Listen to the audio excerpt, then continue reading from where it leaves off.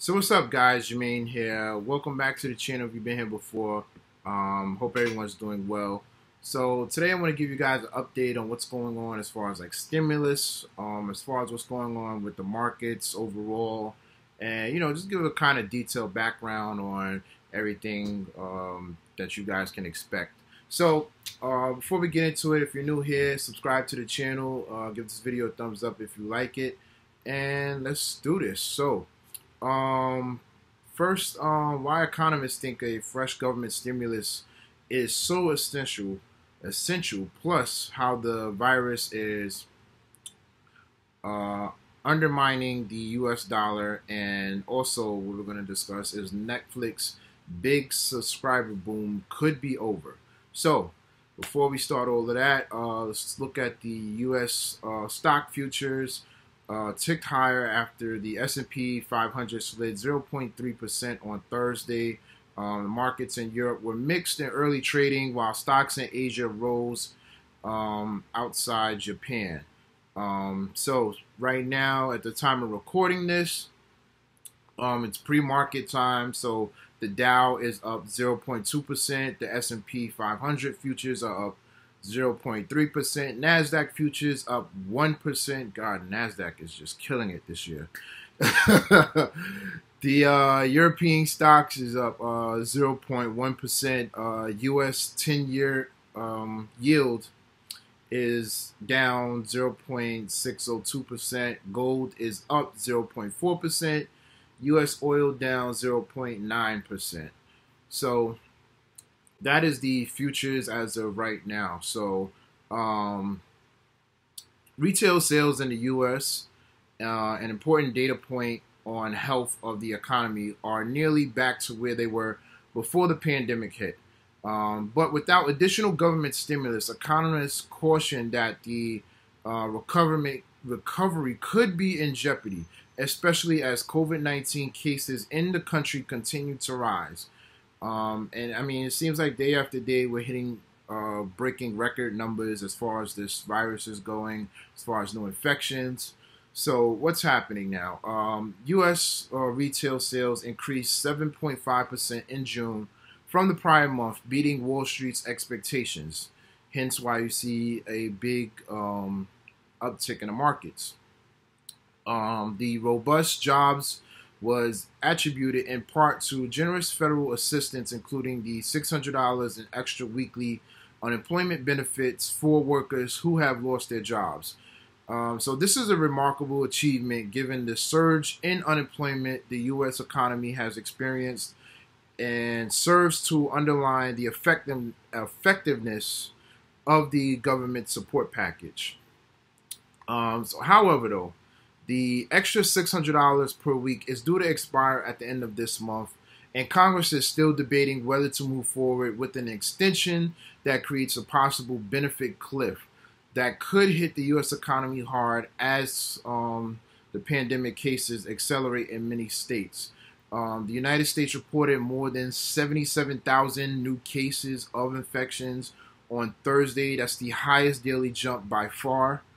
Um, this if this program expires at the end of the month as planned it there will be a huge drop in incomes for those millions of people at a time when um, reinstatement of COVID-19 containment measures is limiting the opportunities for finding work. Um, so something that I have like on the radar, um, Senate Republicans are slated to release their plan for additional stimulus spending next week which will kickstart a debate in Washington and unrest. Um, yet there's little clarity on how and when Congress and the White House will come together on an agreement. Um, now, as far as speaking on stimulus, uh, the European leaders met Thursday and Saturday in Brussels for the first time in person to submit uh, since the um, the COVID nineteen crisis began. Uh, so they're going to debate over there on the proposal put forward by the European Commission um, and made that will raise um, uh, 750 billion dollars, uh, well in euros, but that will equate to 857 billion U.S. dollars.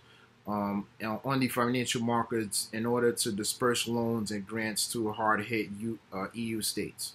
So, a few things to look out for today in the markets: um, BlackRock, um, Ericsson, and State Street report earnings, and that's going to be before the U.S. markets open. So probably by the time this video is out, the market's probably going to be open already, and earnings would have been reported already on those companies. Um, also today to look out for um, U.S. housing um, stats and building permits for June post at 8:30 a.m. That's Eastern time. Um, the first reading of the University of Michigan Consumer Sentiment Survey for July arrives at 10 a.m. Eastern time today. Um, things to look out for next week. Uh, earnings season continues as big names like Coca Cola and Microsoft will be reporting earnings. Now, as far as Netflix, um, their big subscriber boom could be over. Uh, Netflix has a warning for investors. The massive growth it experienced during the beginning of the pandemic won't be sustainable for the rest of the year.